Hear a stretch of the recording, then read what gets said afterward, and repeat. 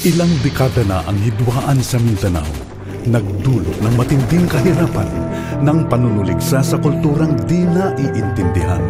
Panahon na para ito ay wakasan at tuluyan nating matuldukan sa pamamagitan ng usaping pangkapayapaan.